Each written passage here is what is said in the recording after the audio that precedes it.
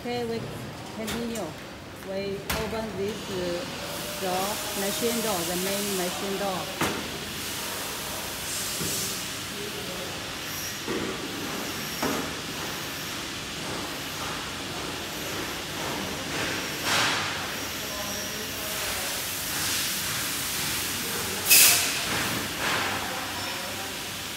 And uh, this is the compressor air tube uh, from the compressor and then connect with the machine.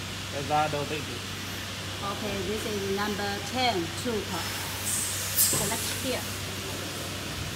Okay, so you check it to the way here. So that is the way we connect with the compressor valve.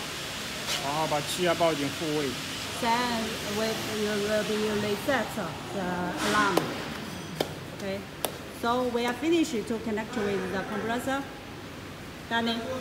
但是那些漏概念， Uh, 整个机器人多。